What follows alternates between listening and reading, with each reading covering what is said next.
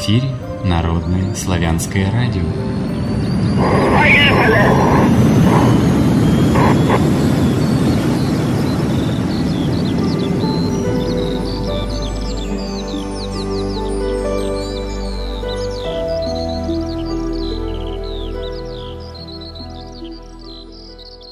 Всем здравия! С вами Народное славянское радио. Сегодня у нас по одному из современных календарей 15 октября 2019 года, вторник. В виртуальной студии нахожусь я, Алексей Орлов, и Елена Воинова. Здравия тебе, Елена. Здравствуйте. Здравствуйте, Алексей. Сегодня тема, да, сегодня тема у нас «Дети в спорте», о чем важно знать родителям юных спортсменов. Вот такая веселенькая тема у нас. Я хотел бы для начала, чтобы Елена ты о себе немножко рассказала, потому что важно понять, чем ты занимаешься, и исходя из этого будет ясно, почему такая тема. Угу. Хорошо. Ну, меня зовут Елена, да, как уже представили. Э, я психолог, кандидат психологических наук, и именно последние годы я занимаюсь именно спортивной психологией. До этого был опыт большой работы в медицинских учреждениях. Я преподавала в высшем образовании, в системе высшего образования, в управлении персоналом – и даже в службе безопасности был такой опыт. И вот последние именно годы э, затянули меня спортсмены, затянула спортивная психология, я поняла, что весь предыдущий опыт, он полезен именно здесь. Э, часто спрашивают, да, почему спорт? Были ли вы сами спортсменкой в прошлом? Так что сразу отвечу, потому что наверняка такие вопросы будут. В детстве я занималась спортом, спортивной гимнастикой. И скажу, что, в принципе, мне это очень нравилось, были успехи определенные. Но по настоянию врачей меня родители забрали из большого спорта, и потом занималась профессиональными танцами. В принципе, все вот эти вещи, как страхи, предстартовая лихорадка, боль, усталость, э, радость успеха, это все через меня прошло, поэтому я со всем этим знакома. И сейчас вот работаю больше со спортсменами, используя и свой личный опыт, и, конечно, тот опыт, который получил вот, э, в течение профессиональной деятельности. Ну и сейчас среди моих клиентов, пациентов, так скажем, 80% э, это именно спортсмены, родители спортсменов, тренеры.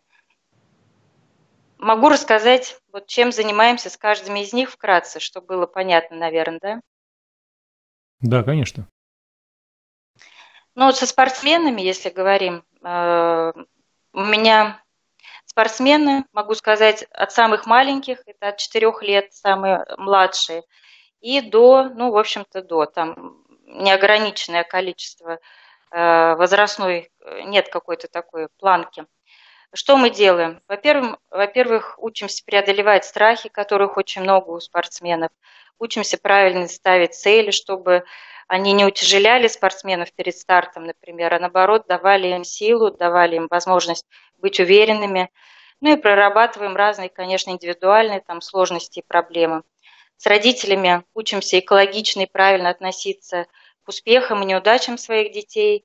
А, опять же, чтобы предупредить вот, демотивацию детей и чтобы не допустить развития неврозов, депрессии у них, которые тоже нередко бывают. Вот. Ну а с, тренерами, с тренерами тоже учимся э, правильно относиться к своим воспитанникам именно с психологической точки зрения, выстраивать тренировочный, соревновательный процесс так, чтобы, опять же, предупредить вот э, развитие лишних навязанных страхов и чтобы помогать им быть более уверенными, достигать тех э, желаемых результатов, в том числе побед, к которым они все стремятся. И вот я хочу проговорить сразу, у меня э, есть такая небольшая шпаргалка перед собой, потому что информации на самом деле очень много, я ее выстроила у себя на листочке, но чтобы не отвлекаться и чтобы уложиться во временные рамки эфира. Поэтому буду иногда заглядывать вниз в листочек. Вот. Ну и чтобы э, вот какие бы темы сегодня хотелось раскрыть, Первое – это плюсы и подводные камни вообще детей в спорте, именно с точки зрения спортивного психолога, потому что я, ну, даже больше скажу, детский спортивный психолог, чем взрослый. И второй момент – это вот как сохранить мотивацию ребенка, который уже в большом спорте, и чтобы не доводить его до неврозов, до депрессии, э, которыми часто ко мне приводят, могу сказать. Ну и тогда начнем с первой темы, да? Да, конечно, можно начинать. Вот первую тему я бы вот сама назвала, сама для себя это отдавать или не отдавать вообще детей в спорт и плюсы и подводные камни. Э, хотелось бы начать именно с того, что я работаю не только со спортсменами, как я сказала, у меня спортсменов процентов 80, а остальные 20 процентов это дети, которые не занимаются спортом, занимаются чем-то другим, например, или вообще не занимаются ничем. И ну, все приходят к психологу с какими-то трудностями, проблемами. Да? К психологу вообще очень редко приходят, когда все хорошо. У, каждого, у каждой категории этих детей есть какие-то свои сложности. Но я бы вот могла разделить все-таки вот на эти две такие группы своих клиентов. Первое – это те дети, которые чем-то заняты в целом, не обязательно спортом. Это может быть и музыка, это может быть там танцы, это могут быть изобразительное, может быть, искусство – а вторая категория – это дети, ничем не занимающиеся. То есть, ну, по каким-то причинам. Или они ушли, например, чем-то занимались и на данный момент перестали. Или, например, э, ну, опять же, по каким-то причинам и не занимались ничем. И вот когда я думала про одну и другую группу, вот э, стали всплывать ассоциации, определенные слова, которые относятся вот к каждой из этих групп. И вот если к первой группе когда я думала о, де- о детях, которые заняты чем-то, то пришли вот такие слова. Цель, преодоление, рост, внутренняя борьба, достижение. А когда вспоминала детей из второй группы, которые ничем не заняты, которые ну, больше предоставлены сами себе, то всплыли вот именно такие слова. Пустота, неверие в себя, ведомость, бесцельность, страдание. И, соответственно, э, проблемы у этих детей тоже разные, тоже отличаются. Я бы не сказала, что, например, у первой группы меньше трудностей или проблем. Нет. Просто они качественно разные, э, другие совсем. И вот сейчас хотелось бы озвучить как раз, какими трудностями, проблемами приходят те и другие дети. Вот дети занятые, в том числе спортом, на первом месте, вот с чем обращаются, и что я вижу, это неврозы. Неврозы от каких-либо некорректных действий взрослых. То есть это когда родители, тренеры, педагоги ну, таким образом себя ведут, что дети начинают реагировать э, вот именно через невротические нарушения. То есть они загоняют сами в себя вот эти вот тревоги, страхи, и потом ко мне приводят, там уже ребенок не в состоянии показывать каких-либо результаты, а, какие-либо результаты, а скорее, наоборот, уже требует помощи. На втором месте это депрессивные симптомы, именно не депрессия, а депрессивные симптомы на фоне череды неудач, поражений. И вот как это могут, например, сами родители заметить, данные проявления, ну, обычно говорят, три кита депрессии. Да? Первый, э, первый кит – это когда снижается настроение, то есть ребенок ну, так скажем, в безрадостном виде, в том числе ходит на тренировки, э, больше слез, меньше радости. На втором месте это двигательная активность снижается, то есть меньше сил, больше сонливости, больше такой апатии в поведении. Ну и третье – это снижение когнитивной функции. То есть когда ребенок становится менее внимательным, начинает хуже соображать, э, в общем-то, вот хуже учиться даже. То есть снижается такая эффективность обучаемости. На третьем месте какая проблема вот у детей, которые именно занимаются чем-то? Это неумение себя настраивать, собирать перед выступлениями, с этим обращаются. Ну и на четвертом э, месте это страхи, панические атаки. То есть на самом деле страхов очень много, но это уже как следствие вот даже неврозов они начинают проявляться. И вот для чего я это рассказываю, чтобы сравнить с проблемами, э, с которыми обращаются дети ничем не заняты. Да? И первая проблема детей, которые ничем не заняты, да, которые предоставлены сами себе, это уже депрессия, апатия, но это уже не просто депрессивные какие-то нарушения, а именно депрессия на фоне бессмысленности своей жизни. И если вы сейчас ну вот некоторые, наверное, подумали, что это больше относится к подросткам, уже больше взрослым детям. Нет, обращаются именно с детьми уже с 8-9 э, лет, потому что уже в этом возрасте ребенок начинает сам про себя говорить. Я не знаю, мне ничего не интересно, я не знаю вообще, зачем я нужен, я никому не нужен. И вот с такими словами, с таким настроением, вот я работаю, вот, когда приходят э, дети. Вернее, приводят их скорее, они даже не сами приходят. Вторая область проблем вот у современных детей, которые ничем не заняты, это раннее приобщение к социальным субкультурам. То есть если они, например, ничем целенаправленно не занимаются, то все равно их энергия куда-то направляется. И они начинают приобщаться, ну, к очень разным, я не буду, наверное, все перечислять. Но вот самый, наверное, частый последнее время, и я бы сказала, меня шокирующие даже бывает, что совсем, в общем-то, еще малые дети, так скажем, 8, 9, 10 лет, уже проблемы с незавершенными суицидами бывают, э, гомосексуализму уже есть причастные. Причем вот если говорить о последней вот этой вот особенности, то э, здесь больше навязаны такие вот, ну, как бы, э, навязанное приобщение, я бы сказала. Это никак не связано с какими-то природными там, особенностями детей. Вот. Ну и уже психические нарушения на фоне вот всех вот этих вот вещей.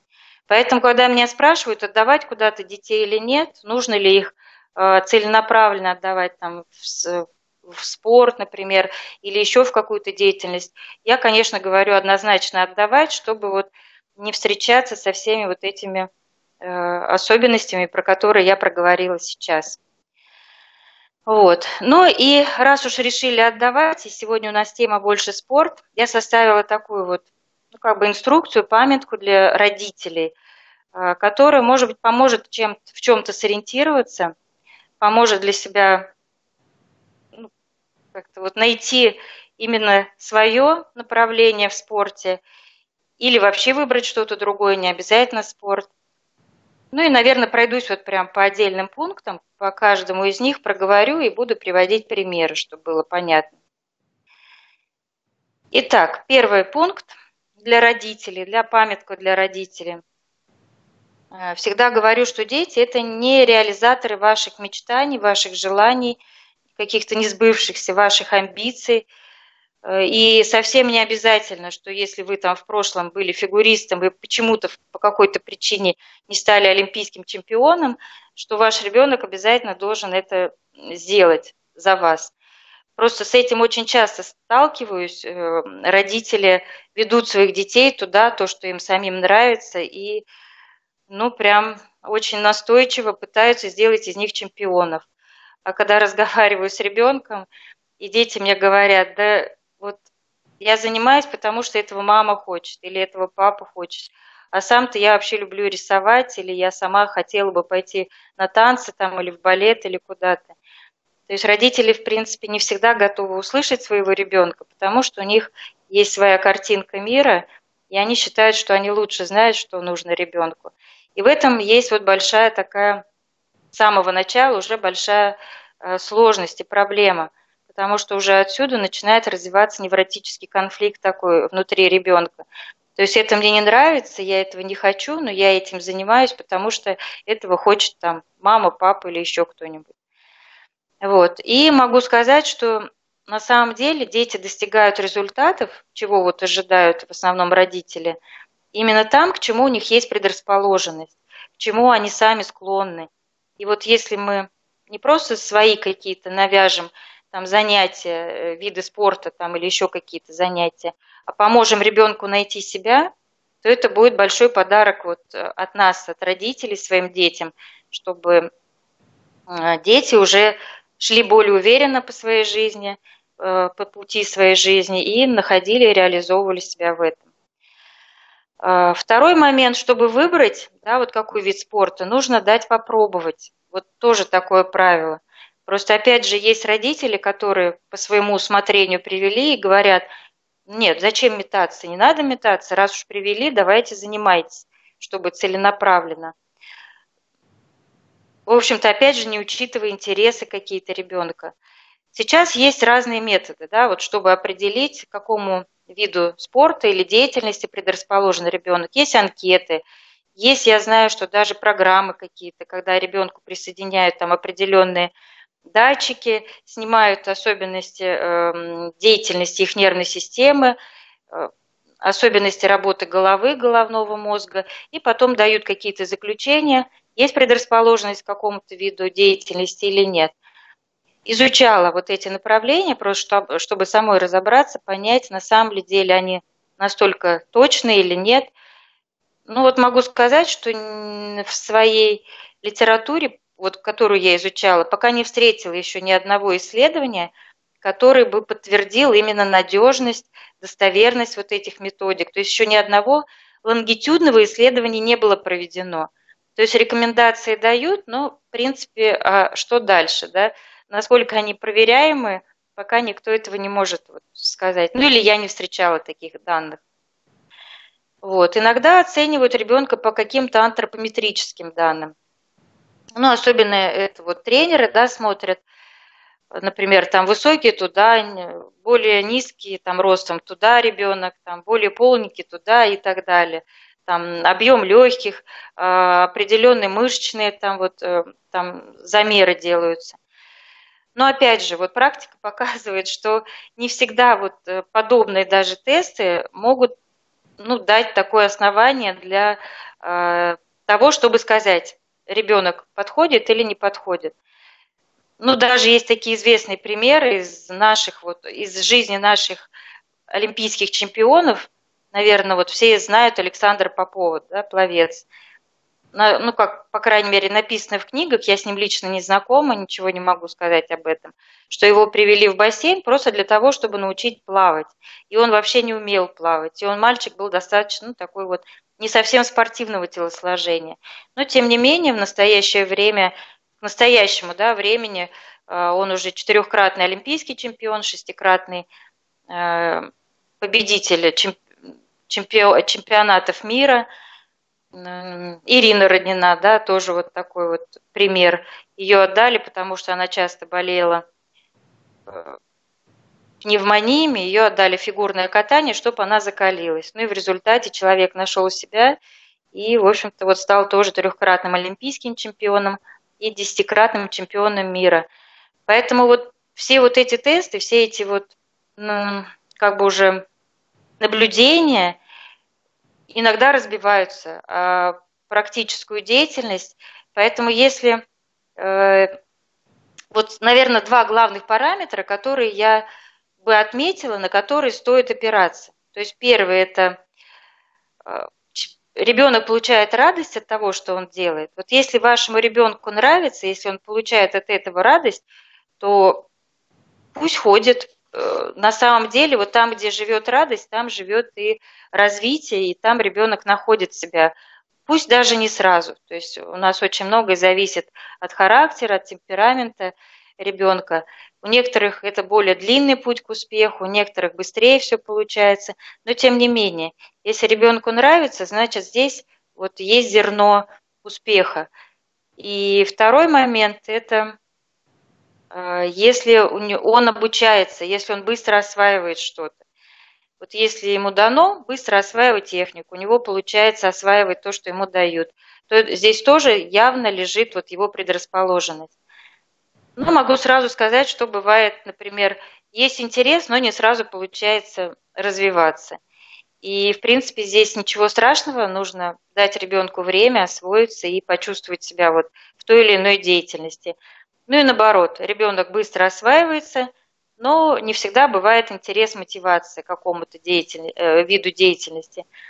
Здесь у меня, ну, наверное, свои такие пожелания – не ставить ребенку сразу какие-то сложные там амбициозные цели, даже если у него что-то получается, не вешать на него там заранее ярлык чемпиона, а, как я говорю, ешьте слона по кусочкам. Не нужно сразу там замахиваться и самим, и э, ребенка утяжелять вот этой целью, там, достигать каких-то больших результатов.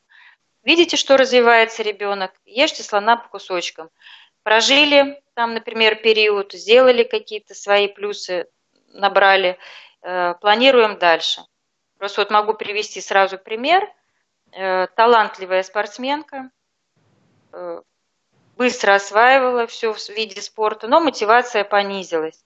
Особенно это бывает в подростковом возрасте, когда ну, меняются приоритеты, да, хочется пообщаться с друзьями, а здесь постоянные тренировки, никакой личной жизни. И вот в принципе, можно было бы передавить и сказать, ну что ты, нет, давай, э, все надежды на тебя, ты у нас там звезда, тебе нужно идти вперед. А девочка, в принципе, могла бы уже бросить спорт.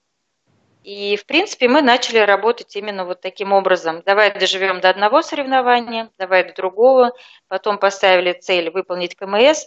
И, в принципе, тренируются, э, соревнуются и человек остался в спорте. То есть надо быть просто очень аккуратным и вот выстраивать эту работу обдуманно, а не просто заставлять, передавливать и так далее. Но это я немножко уже вперед забежала, да. Сейчас мы говорим все-таки о юных спортсменах.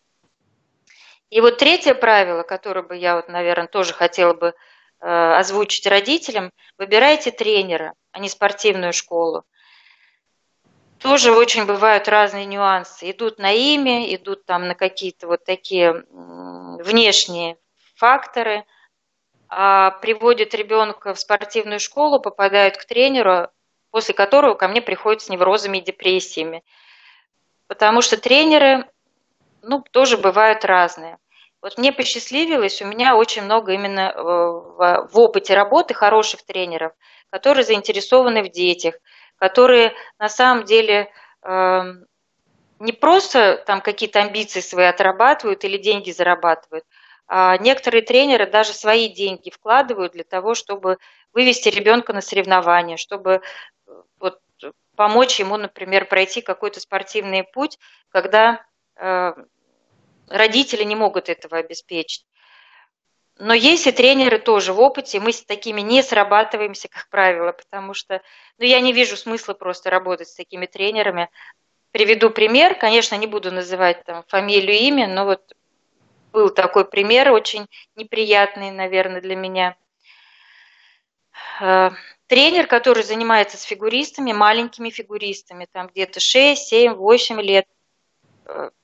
Тренер достаточно некорректная в общении, она могла и материть, э, могла выйти покурить, возвращается, видимо, вся перенервничает, опять матерится, могла унижать своих детей. Могу сказать, что в этой группе точно не было результатов у детей, но это был единственный тренер, который вел именно этот возраст. Поэтому, когда я вот задавала вопрос родителям, а что вас удерживает, зачем вам такие вот испытания, вам и детям, потому что у детей сплошь вот были невротические нарушения, с которыми, опять же, ко мне приводили этих детей. Они, ну, говорили, это единственный тренер этого возраста, и мы не можем никуда больше вот определить ребенка.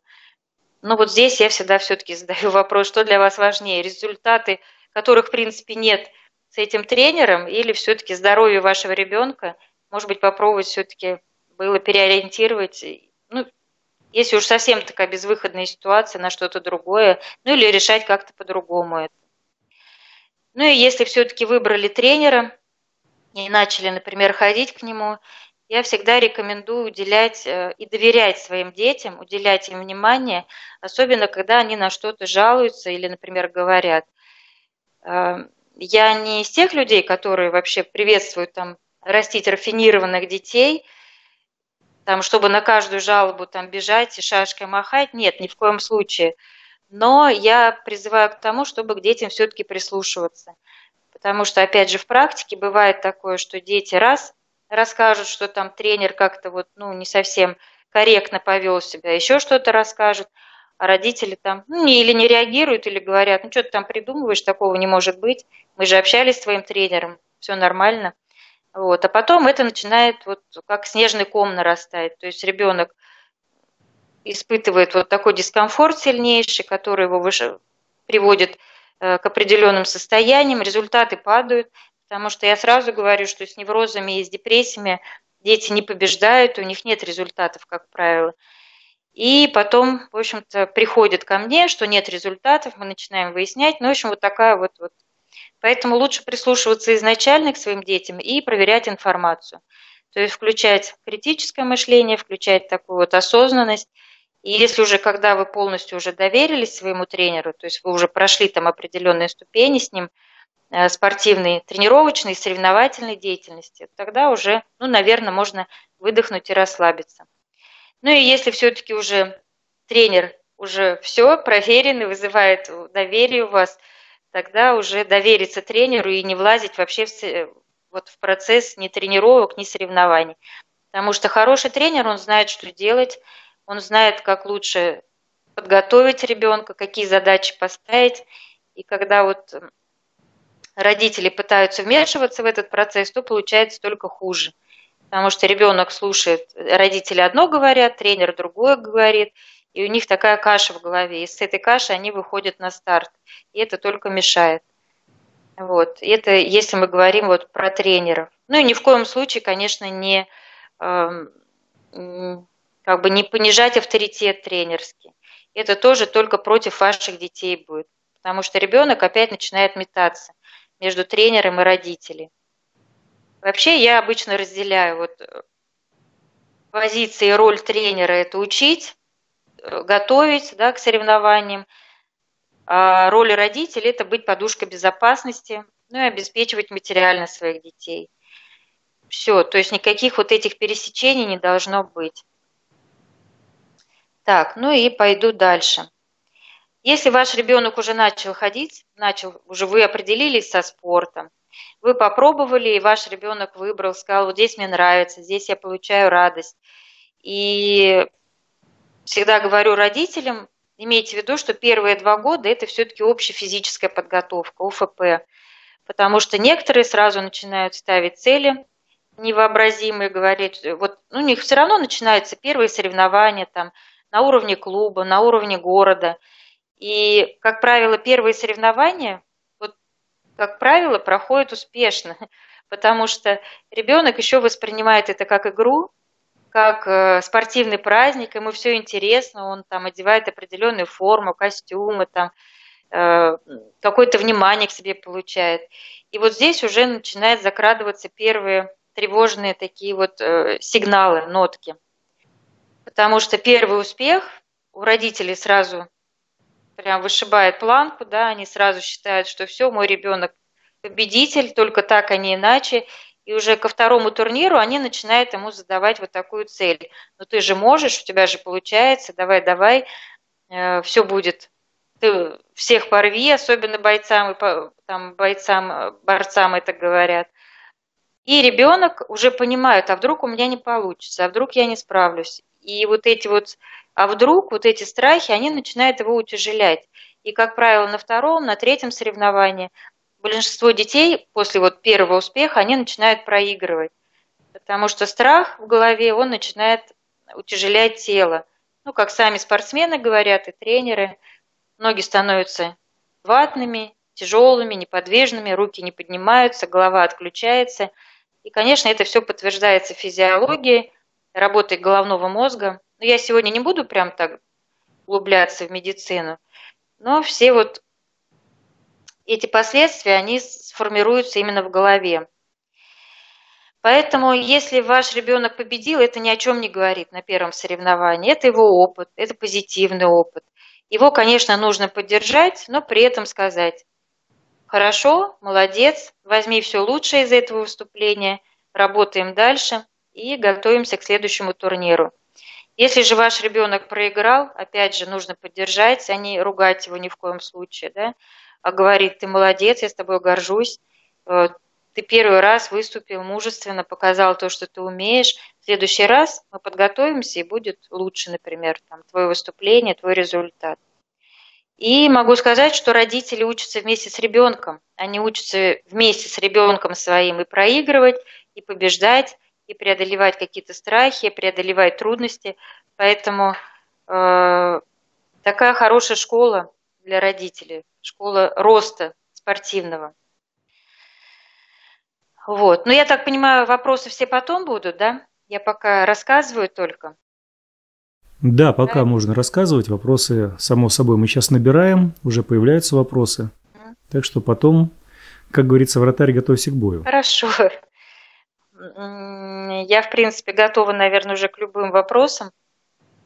Потому что каждый... Как, вообще к любым?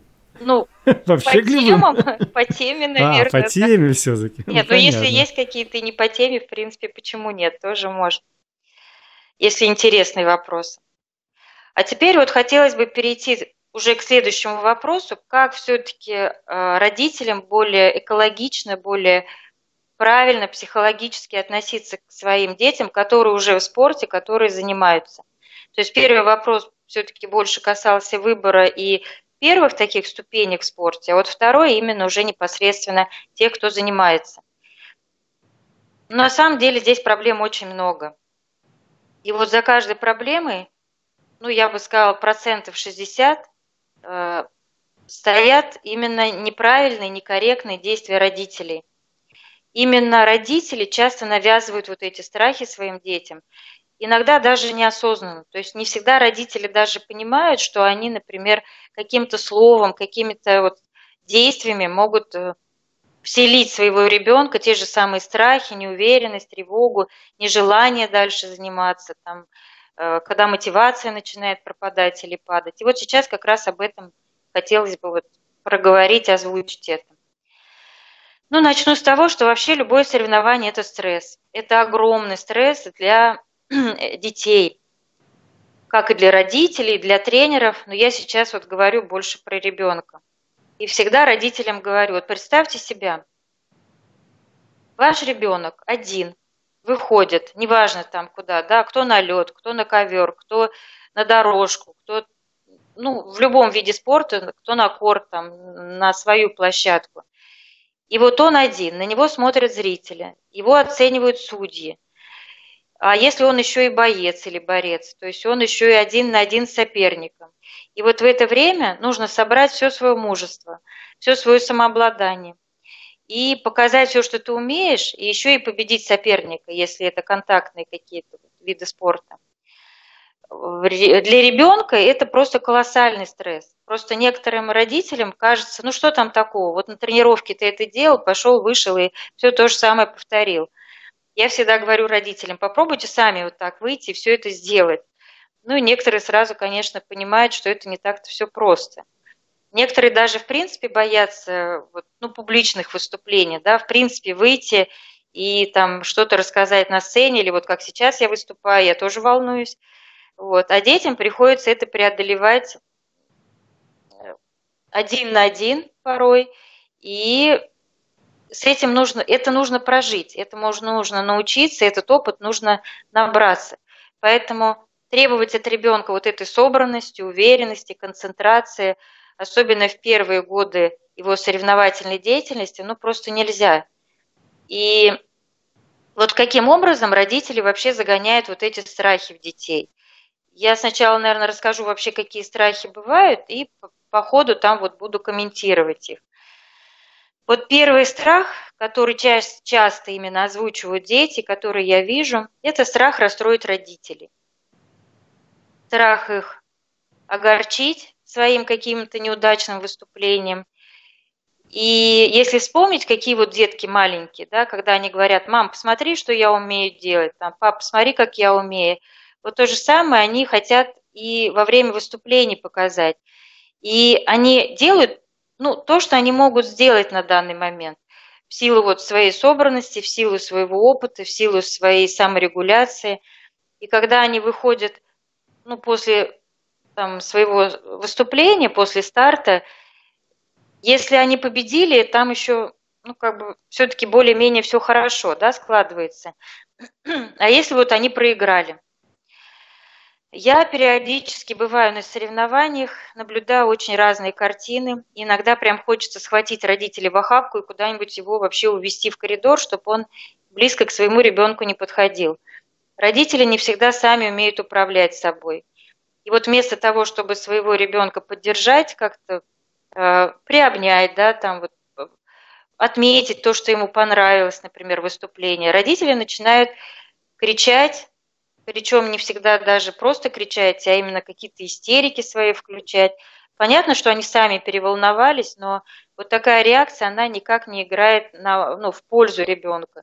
Если они думают, что накричали на ребенка, и он прям сразу прям весь такой включился и на следующих соревнованиях выступит замечательно, то глубоко ошибается. Вот все наоборот происходит. Если все-таки немножко вот э, углублюсь в медицину, да, просто хочется, чтобы это объяснить не просто на словах. Вот когда любые наши эмоции – это наши э, нейромедиаторы, это наши гормоны. То есть, когда мы испытываем радость, это серотонин, да, когда предвкушение, там, например, перед соревнованием. Когда выходит э, спортсмен уже соревноваться, там включаются другие совсем нейромедиаторы, гормоны. Это адреналин, норадреналин, кортизол и, ну, в общем, другие, там, множество других э, гормонов. Если, например, э, сильно расстраивается да, спортсмен, то это остается уже адреналин и кортизол. То есть норадреналин – это гормон хищника, а адреналин – это гормон страха все-таки, как вот определяют медики. Ну и когда мы успокаиваем ребенка, обнимаем его, то это мы помогаем ему через гормон окситоцин, то есть это гормон объятий. И когда ребенок хочет побеждать, когда он наполнен вот этой решимостью, это гормон дофамин, нейромедиатор, гормон дофамин. Вот для чего я вам все это рассказываю, да? Вот чтобы, например, включить гормон победителя, гормон хищника, э, это норадреналин ребенку, с утра, в день соревнований, уже нужно быть наполненным радостью, серотонином, потому что без серотонина не вырабатывается в полной мере гормон дофамин, а это гормон мотивации. Если нет мотивации, нет норадреналина. То есть если нет радости, если так связать эту цепочку, то ребенок Э, больше работает на страхе. А на страхе ребенок не побеждает, как правило, потому что я уже говорила, там тело утяжеляется и так далее. И вот с этим адреналином, а еще туда добавляется кортизол, это очень тяжелый для ребенка гормон. Если он остается, там очень много последствий, разрушающих вообще для здоровья, для психики. И вот он выходит весь расстроенный, в слезах, у него там выброс мощнейший всех этих гормонов – в том числе вот в большей части адреналина, кортизола. И вместо того, чтобы приобнять, успокоить его, да, используя гормон окситоцин, родители кричат, и разрушается вся радость, и разрушается весь дофамин, мотивация. И к следующему соревнованию в голове у ребенка уже сохраняется соревнование это плохо, это страшно, это больно, э, ничего хорошего соревнования не несут. И, соответственно, к следующему турниру ребенок уже наполнен, то есть в голове уже включился такой фиксатор, что это приносит боль, это плохо, и мотивации-то нет, а есть именно вот этот страх, то, что ему мешает. Поэтому, если все-таки родители хотят сохранить мотивацию к соревновательной деятельности ребенка, то лучше все-таки поддержать его, успокоить, сказать, я понимаю, я понимаю, что ты расстроен. Я понимаю, что тебе хочется поплакать. Если он плачет, пусть поплачет. Ничего страшного в этом нет. Потому что это напряжение нужно куда-то деть. Вот. И тогда ребенок понимает, что его поддерживают. Он ощущает вот эту вот поддержку со стороны не только там родителей, может быть, но и тренера. Если родители, несмотря ни на что, увидят хотя бы один-два плюсика в его выступлении, вот тогда дофамин сохраняется, эта мотивация, и тогда есть желание выступать дальше.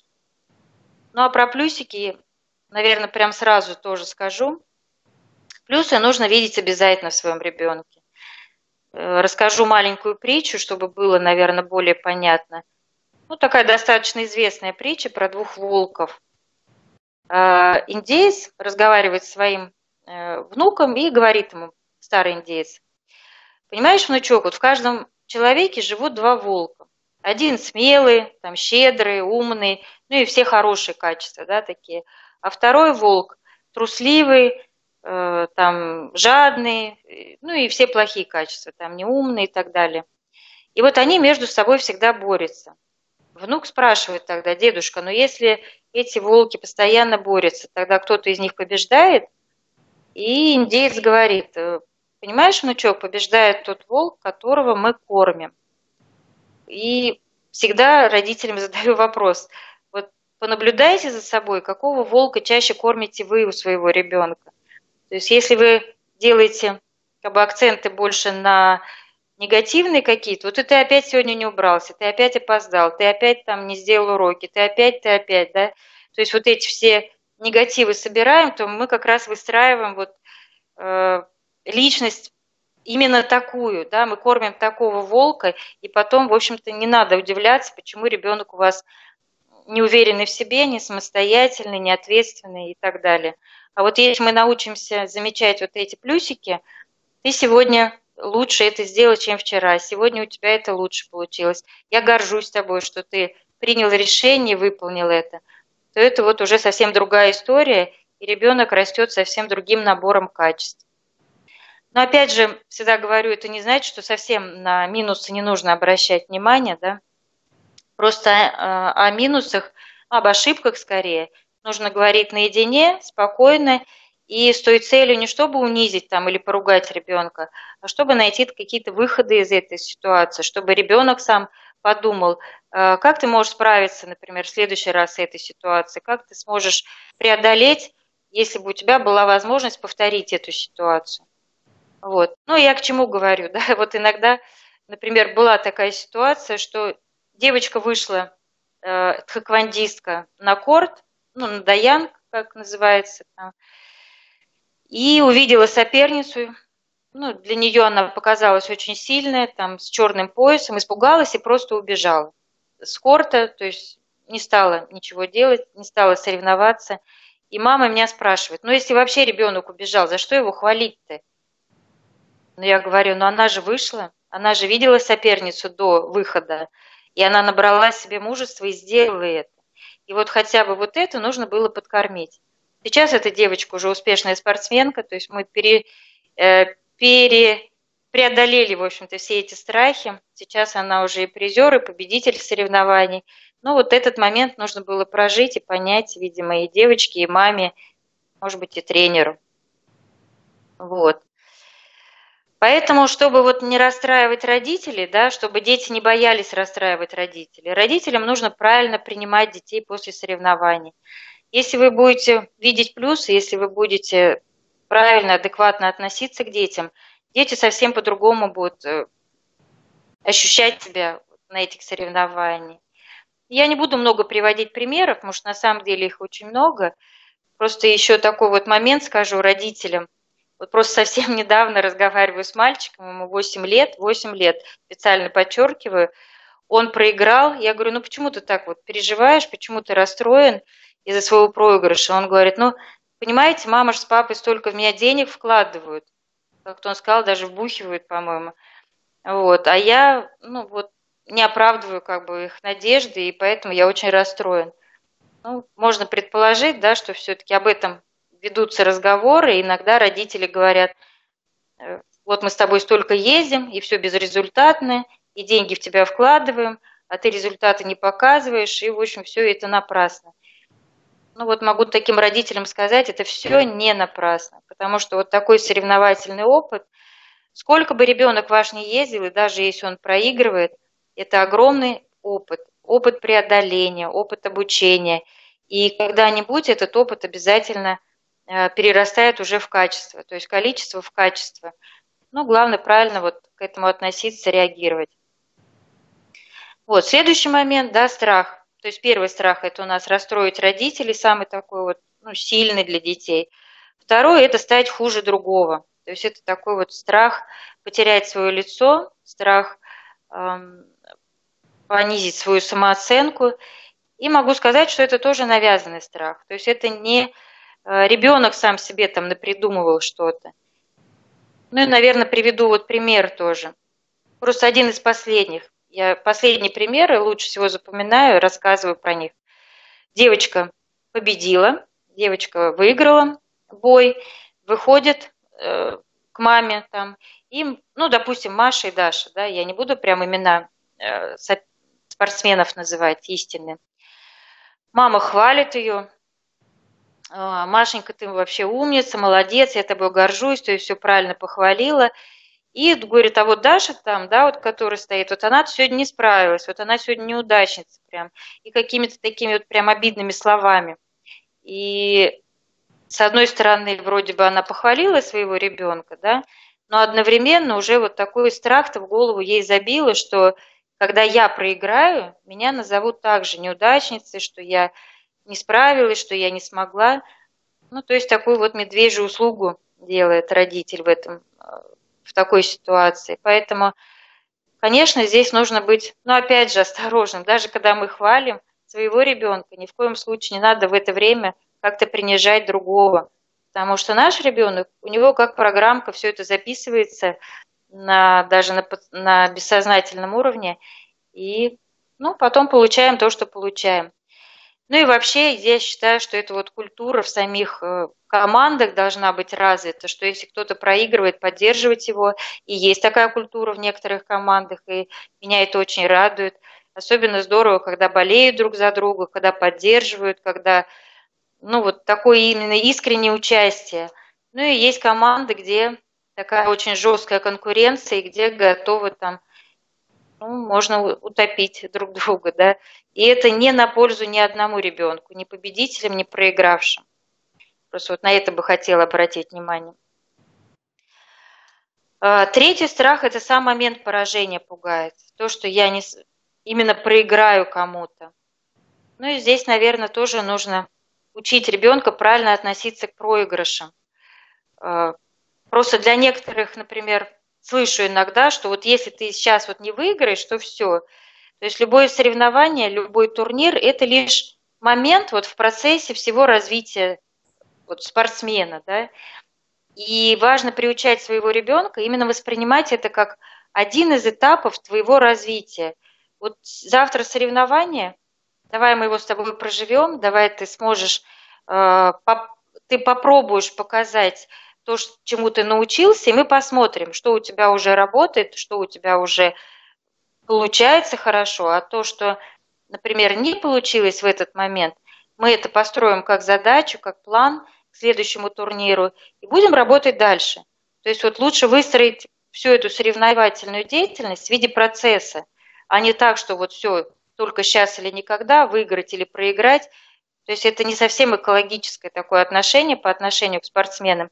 И это их на самом деле вот э, у них вызывает такой страх поражения. Все, если проиграл, то это конец жизни. То есть любое поражение – это огромный опыт.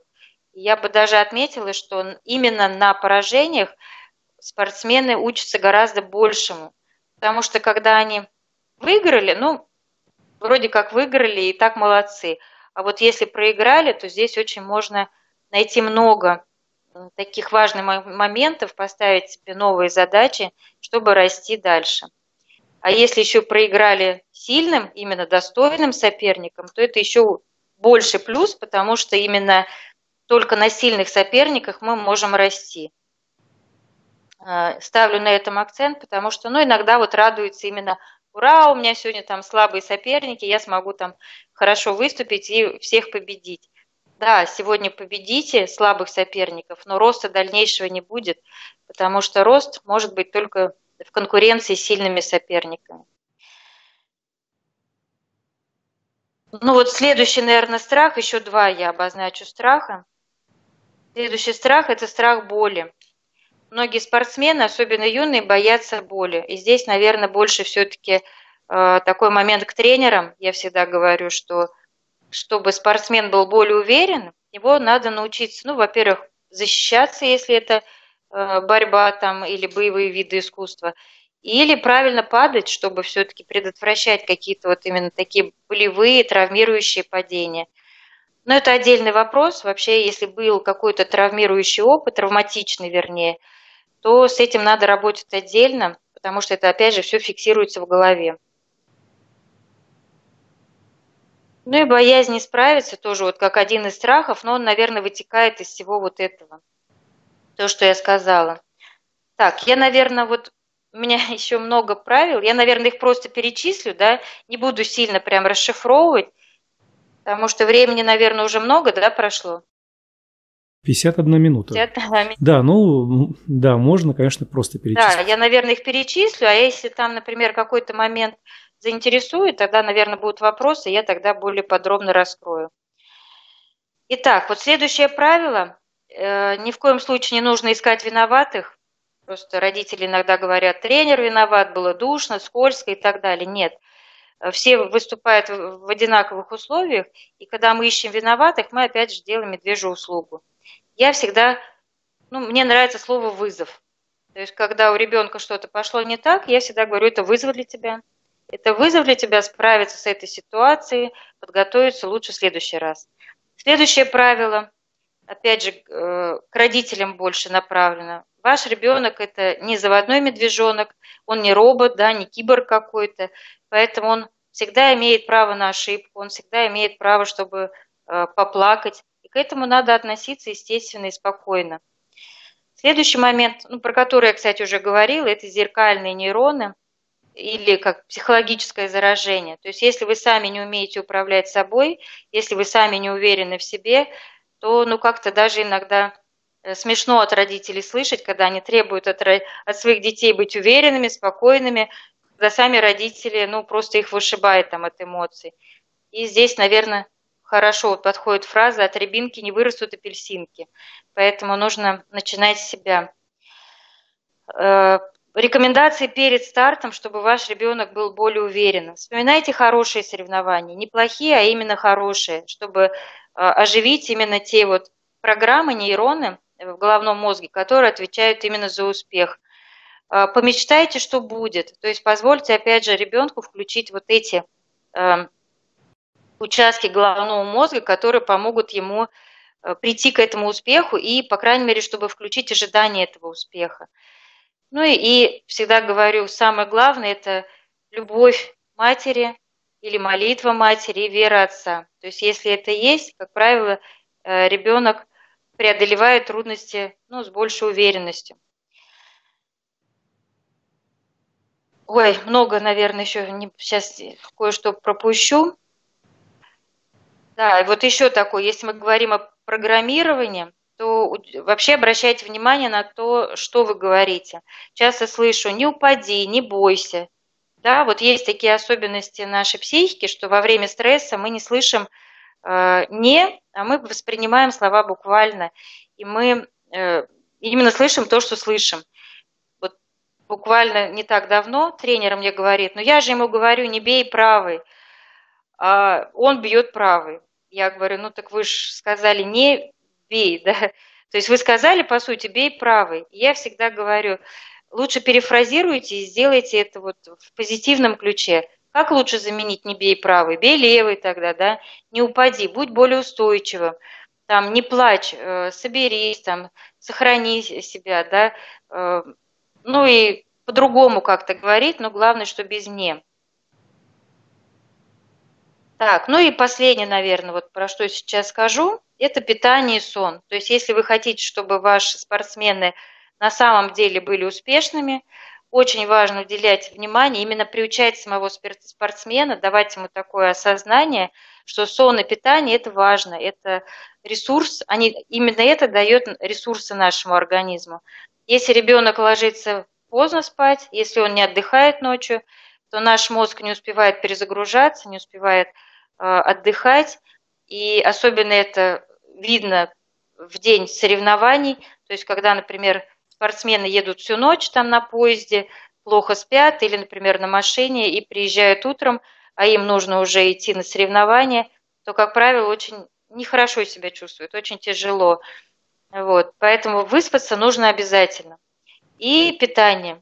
То есть чем больше ребенок употребляет в пищу всякой химии, непонятные там чипсы, кириешки, там непонятные шоколадки, напичканные всякой ерундой, то все это забирает у него энергию, потому что силы э, организма направлены не на то, чтобы давать ребенку энергию, чтобы он хорошо себя ощущал на тренировках, на соревнованиях, а силы направлены на то, чтобы перерабатывать вот эту всю химию, которая, ну, считается такой, как бы, чужеродной для организма ребенка. Вот, наверное, остановлюсь. Наверное, давайте вот вопрос. Наверное, становишься. Хорошо прозвучало. Ну что ж, друзья, первая часть нашего эфира подошла к концу. Напоминаю, что сегодня по одному из современных календарей 15 октября 2019 года вторник. Дети в спорте, о чем важно знать родителям юных спортсменов. В виртуальной студии Елена Воинова, Алексей Орлов. И напоминаю, что вопросы и реплики мы принимаем на сайте Народного славянского радио славрадио.орг и на нашем канале в YouTube youtube.com славрадио. За виртуальным пультом находится Роденко Евгений и помогает еще Светлана Большакова принимает вопрос, следит за чатом, одна из модераторов. Ну что ж, э, предлагаю Евгению включить отбивочку и перейдем ко второй части нашего сегодняшнего эфира.